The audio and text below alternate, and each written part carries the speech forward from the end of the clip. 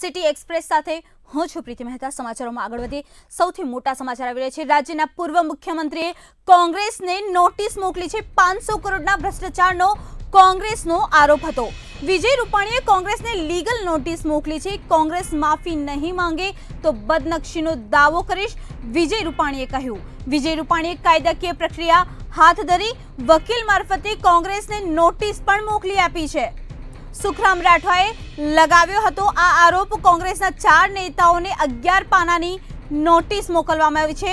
પંદર દિવસમાં લેખિત માફી માંગવા પર નોટિસ આપી છે. ગુજરાતના પૂર્વ સીએમ વિજય રૂપાણીએ કોંગ્રેસને લીગલ નોટિસ મોકલી છે. કોંગ્રેસે લગાવેલા પાંચસો કરોડના ભ્રષ્ટાચારના આરોપને લઈને વિજય રૂપાણીએ વકીલ મારફતે કોંગ્રેસને નોટિસ મોકલી માફી માંગવાની વાત કહી. જો કોંગ્રેસ આ આરોપોને લઈને તેઓથી માફી નહીં માંગે, તો તેઓ કોંગ્રેસ વિરુદ્ધ બદનક્ષીનો દાવો કરશે તેમ જણાવ્યું. પૂર્વ સીએમ વિજય રૂપાણી પર લગાવેલા પાંચસો કરોડના જમીન કૌભાંડના આરોપોને લઈને રૂપાણીએ બદનક્ષીની નોટિસ. વકીલ અંશ ભારદ્વાજ દ્વારા સુખરામ રાઠવા, શૈલેષ પરમાર અને સીજે ચાવડાને મોકલી આપી છે અને આગામી પંદર દિવસમાં લેખિત માફી માંગવા જણાવ્યું છે. જો કોંગી નેતાઓ લેખિતમાં માફી નહીં માંગે તો રૂપાણી આગામી સમયમાં કાયદેસરની કાર્યવાહી પણ કરશે.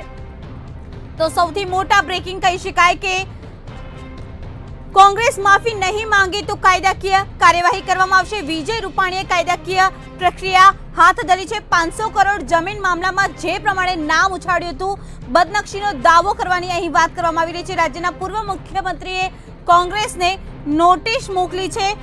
વિજય રૂપાણીએ પાંચસો કરોડના ભ્રષ્ટાચાર કર્યો હોવાના વાત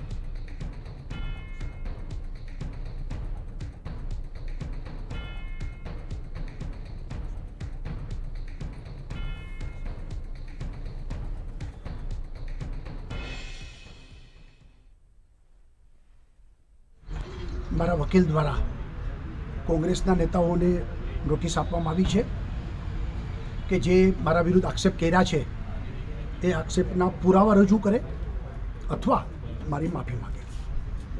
જો પંદર દિવસમાં એ નહીં કરવામાં આવે, તો હું બદનક્ષીનો દાવો માનાનીનો દાવો કોર્ટમાં એ કરવામાં આવી કરીશ અને કાનૂની લડાઈ હું લડીશ કારણ કે પાંચ વર્ષ મારી સરકારે ઈમાનદારીથી કામ કર્યા છે, અનેક વિકાસના નિર્ણય કર્યા છે. મારી સરકારે ચોક્કસ જોનફેર કર્યો છે કે રહેણાંકમાંથી મેં ઇન્ડસ્ટ્રીઝની મંજૂરી આપી. અને એ આપવાનું કારણ રાજકોટ ઇન્ડસ્ટ્રીયલ હબ છે. રાજકોટનો ઇન્ડસ્ટ્રીયલ વિકાસ થાય, વધુ નવા કારખાના બને, એટલા માટે મેં એને મંજૂરી આપી છે. પરંતુ પાંચસો કરોડનું કૌભાંડ, આ વાત હાસ્યાસ્પદ છે. જે જમીનની કિંમત પંચોતેર કરોડ રૂપિયા આશરે છે. વિરજીભાઈએ ગઈકાલે સમર્થન આપ્યું, એને એંસી કરોડ કીધા. એટલે એંસી કરોડ રૂપિયાની જમીનમાં પાંચસો કરોડનું કૌભાંડ? આ વાત પણ કોઈને ગળે ઉતરેવી નથી. એટલે કોંગ્રેસ જ્યારે ડૂબતું નાવ છે, કોંગ્રેસ જ્યારે ખતમ થઈ રહી છે, કોંગ્રેસના લોકો કોંગ્રેસ છોડી રહ્યા છે, ત્યારે કોંગ્રેસ હજી સુધરવા માગતી નથી. કમળું હોય, એને પીળું દેખાય.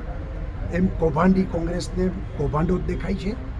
આગામી ચૂંટણીમાં ભાજપ અને મારી કારકિર્દીને, ઇમેજને બગાડવા માટે એક ષડયંત્ર કરીને કોંગ્રેસ આગળ વધી રહી છે અને આની વાતને મેં ગંભીરતા લઈ અને કાનૂની કાર્યવાહી